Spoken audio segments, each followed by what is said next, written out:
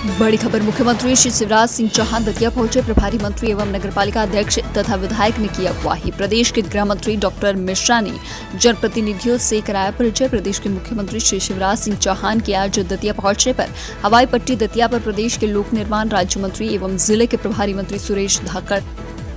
नगरपालिका अध्यक्ष दतिया श्रीमती शांति प्रशांत धेगुला विधायक श्रीमती रक्षा संतराम सिरोनिया ने पुष्प गुच्छ देकर अगवाही की। इस मौके पर प्रदेश के गृह मंत्री डॉक्टर नरोत्तम मिश्रा ने उपस्थित प्रतिनिधियों से परिचय कराया। इस मौके पर भाजपा जिलाध्यक्ष सुरेंद्र बुधोनिया जिला पंचायत अध्यक्ष प्रतिनिधि श्री धीरू दांगी, सभागायुक्त श्री आशीष सक्सेना, पुलिस महानिरीक्षक राजेश चावला, कलेक्टर श्री संजय कुमार, पुलिस अधीक्षक श्री अमन सिंह राठौड़ सहित जनप्रतिनिधि एवं अधिकारीगण आदि उपस्थित थे।